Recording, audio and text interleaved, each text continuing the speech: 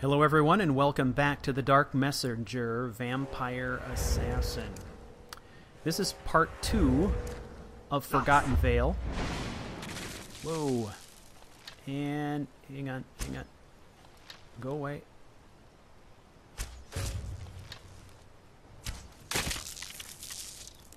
Part two of Forgotten Vale. Part four of Touching the Sky. I welcome you all back, and I want to apologize for part one of Forgotten Vale. I was really um, not feeling great, contending with some congestion. I'm hoping this one will be a little bit better.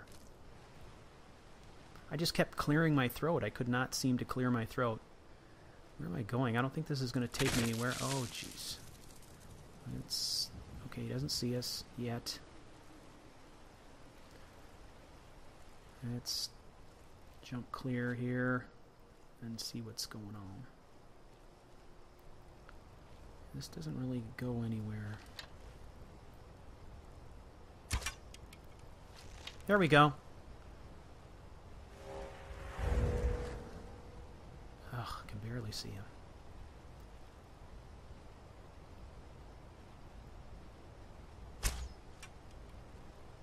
Man. I'm gonna mark him.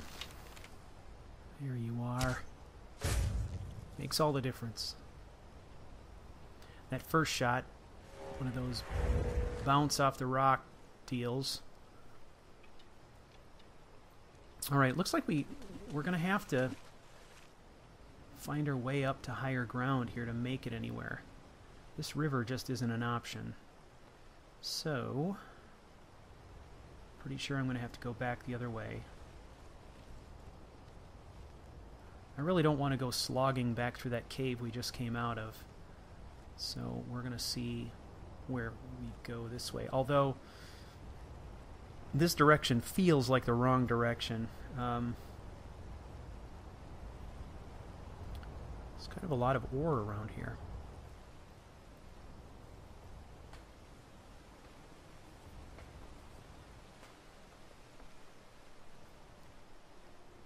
So those of you who are paying attention to the website, couchwarrior.tv, I put a post up there a couple days ago um, announcing the fact that my plan was, following this quest line, to have Sentrosi go back to school and get a degree, so to speak. Um, really, what I'm talking about is doing the Mage College quest line. And the reason I want to do that is because I've started to take an interest in the idea of pursuing some illusion with this character, and it seems like the most efficient way to go about it. People have been asking me why I want to do that, and to be honest with you, the simple truth is that I'm interested in quiet casting, not necessarily because quiet casting is going to help me with spells, but, well, because I don't use a heck of a lot of spells, at least not right now. But quiet casting also helps with shouts, and I use shouts a lot. And I think there were there's probably more shouts that I would use if I was able to to use them quietly. So I think we just did a big loop. We did. All right. Well, we're gonna have to we're gonna have to double back here, so I'm gonna try to make it quick. Anyway, that's something that it's not exactly obvious with quiet casting, but it does affect shouts, and there are quite a few shouts that would be interesting to be able to use in complete silence. So, I think um, I am going to do the Mage College quest line following this one, at least get a good start on it. Plus, that'll get me in a place where I can do some training and stuff like that. And at this level, if I really want to uh, acquire perks and so forth at this level, uh, training is going to be a must if I don't want to just drive myself completely crazy. So I think I'll probably pursue that next. And as a matter of fact, you can find any announcements that I post outside of things just mentioned in these videos. You can always find that stuff on the website. What is this? Stuff. Hmm. It's kind of random. All right. There was a bridge over here.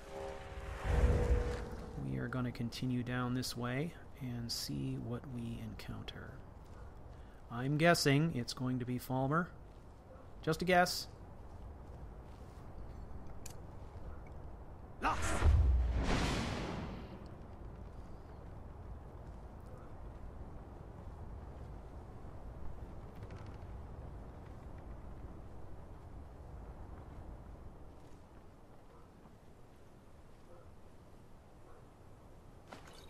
Use these. We can use these.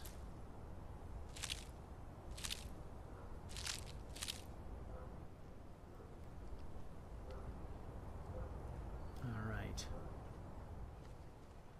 Let's continue.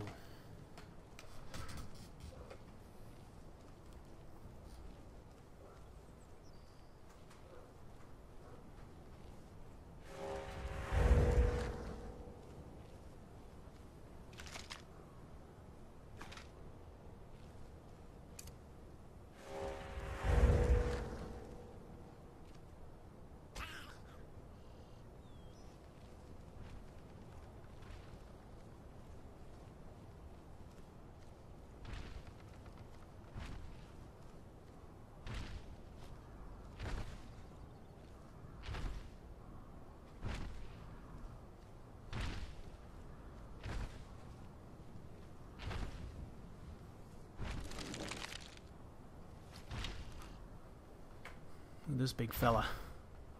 How many shots? Two.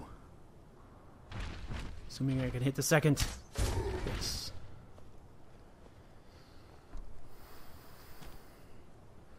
What is he? Frost giant. What is this? Emerald Paragon. Okay, I've heard about these. I can't recall what to use them for, but I'm going to keep it.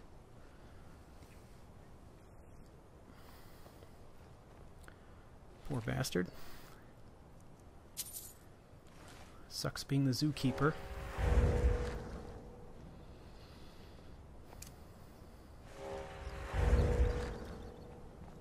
Wow.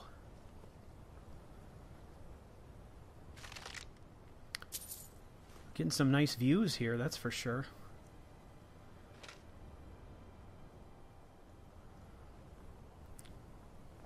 Might pause here a moment to check it out.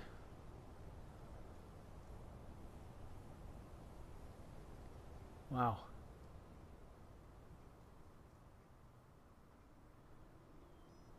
Okay, moving on. I did actually stand there for a while and check it out, so I spliced out that part where I was just kind of standing there. Um, but I, it's amazing. The drops are dizzying. Alright, what do we got here? Who's hiding?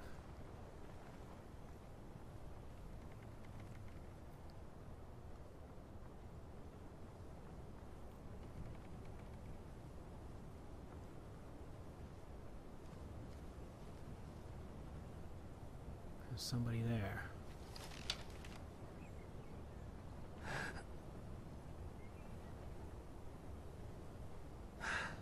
Hmm. Should we light him up? Ah, here he is.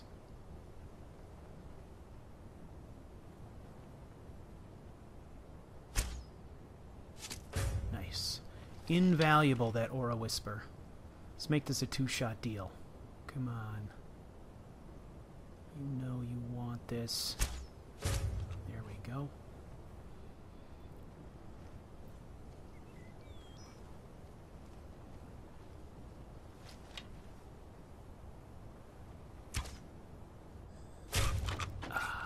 That was a good one. That was a uh, almost parallel shot. So I felt like that one was pretty safe.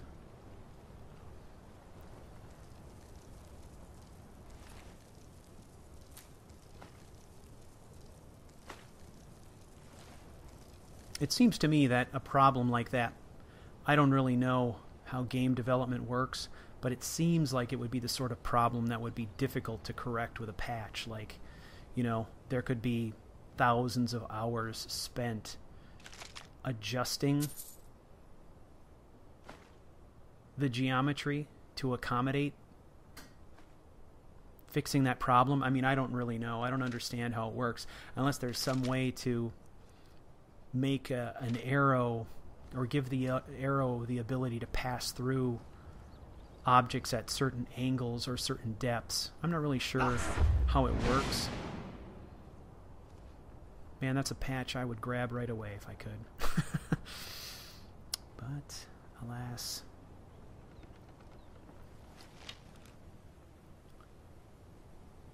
Alright. Right over the top.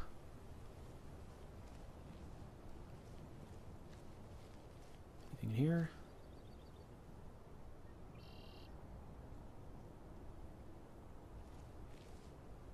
That would be pretty sweet if you could take that vale deer hide and make yourself a glowing set of fur armor. That would be quite cool. That's one thing I've actually considered with this character at some point when maybe, you know, um, i I've advanced a little bit more along my assassin path of just making myself a full set of fur armor and then enchanting it with all the things I need and kind of going ghetto. Alright, this shot is probably not going to work. Eh, yeah, I think I succeeded in getting his attention. Look at he's kind of doubling back.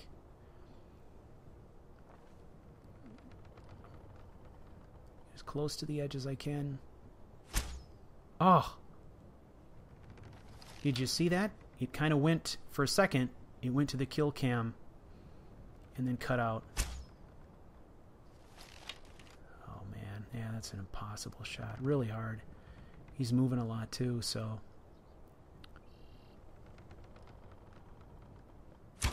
Ugh, what is up? Look at that. See? Yeah, that's probably not a shot I can make. So we got to look for a better position to take it. This is probably going to be just as bad. The angle is just, there's too much in the foreground.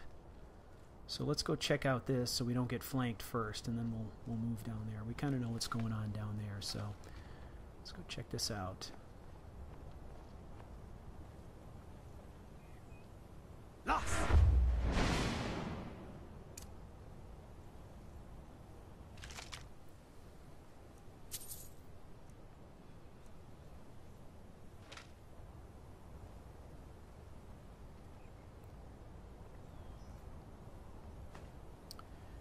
Use those.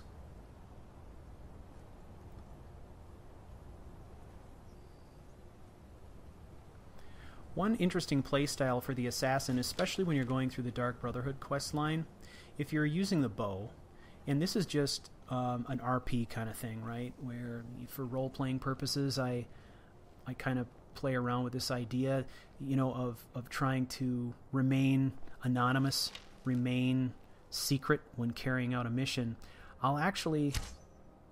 Oh, another one. Kill cam, but no joy. I will actually take Forsworn arrows and Falmer arrows and bows, and I will use them to do my assassinations. And come on. Oh, Jesus. Are you kidding? Oh.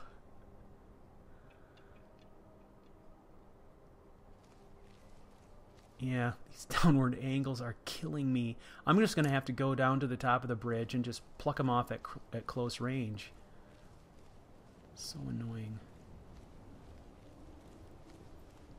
But I'll actually, you know, perform my assassinations with Falmer arrows. The idea being, right, that I'm covering my tracks. I'm making it look like someone else did it. I don't know. I don't know why I do that. It's kind of fun. But usually those are kind of a one-shot deal. So I'll take my regular bow you know, and I'll just load up a Falmer arrow when I make the kill or something.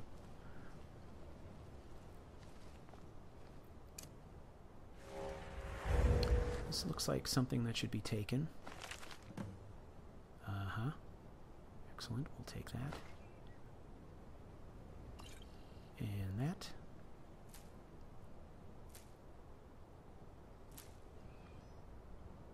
Very soon, I'm going to make an assassin-focused enchanting video. Um, this will probably be for Death Mentor, and then also I'll be doing an assassin-focused alchemy video. But one of the things I'm actually working toward is creating a really good strategy for archers fighting dragons and kind of a specialized bow for that purpose. So one of the things that that I suggest trying, I've done in the past that's worked really well for me, and, and you might want to try as well. I don't know, but uh, I, I craft the best bow that I can, you know, and I, I improve it as much as I possibly can, and then enchant it. I enchant it with something like flame, for example, or shock, and then when fighting against dragons, I will use a poison that is a weakness to fire or a weakness to shock. And it's interesting because the poisons will apply themselves first before the bow damage. So you can effectively, with, you know, if you're good at making poisons, you can significantly increase the fire and shock damage of a shot on top of your bow damage with the simple application of a weakness poison like that. Um, pretty amazing stuff. Pretty cool when you stack it all up like that. Well, thank you again for watching another episode. I hope to catch you for part three of Forgotten Vale. Thank you for watching another episode in the Dark Messenger series. Please feel free to rate, like, and subscribe. It helps me a lot. You can follow the story at couchwarrior.tv or on Twitter at couchwarriortv. Thank you.